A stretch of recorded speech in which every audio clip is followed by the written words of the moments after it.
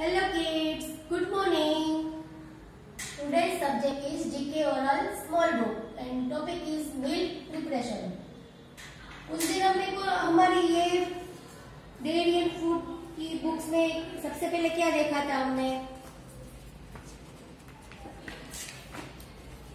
Dairy dairy यानी milk अलग अलग कंटेनर में हमने ये मिल्क देखा था ना? मिल्क यानी डेयरी और मिल्क में से जो बनता है, उसे क्या बोलते हैं? डेयरी प्रोडक्ट डेयरी प्रोडक्ट में क्या देखा था हमने? कर्ड बटर क्रीम घी चीज़ और पनीर. ये सब देखा था ना? तो आज हमें क्या देखेंगे? मिल्क प्रिपरेशन दूध में से जो चीज़ें बनती है ना, उसमें हम ये आइडेंटिफाई करेंगे, ठीक है? तो सबसे पहले क्या बनता है मिल्क में से? खीर। मम्मा बनाती है ना? अंदर जो चावल आते हैं, अच्छे से ये ड्राई फ्रूट डालती है ना आप, खाते हो ना? ये खीर। देन पेढ़ा, पेंडा। आप लोग खाते हो ना पेड़े देन हॉट कॉफ़ी कॉफ़ी बनती है मिल्क में से देन कोल्ड कॉफ़ी ये दोनों कॉफ़ी है hot coffee and cold coffee then tea और क्या बनता है? चॉकलेट्स आप सबकी फेवरेट है ना chocolates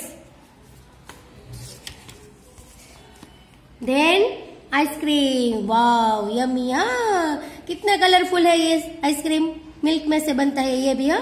देखो कौन कौन से कलर की ये कैंडी है?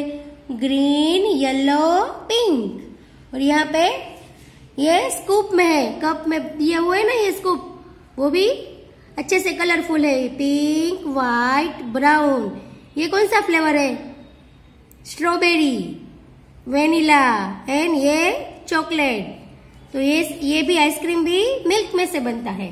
Then kulfi and milk shake तो देख लिया ना हमने, जो दूध में से जो चीज़ें बनती है ना, उसे क्या बोलते हैं? मिल्क प्रिपरेशन तो चलो एक बार रिवीजन करते हैं। पहले क्या बनता है? खीर, पेड़ा hot coffee cold coffee tea chocolates ice cream kulfi and milk shake ठीक है? तो समझ में आ गए ना सबको? मिल्क प्रिपरेशन किसे बोलते हैं? तो आप ये हम आपकी बुक में रिवीजन करना, ठीक है? Bye bye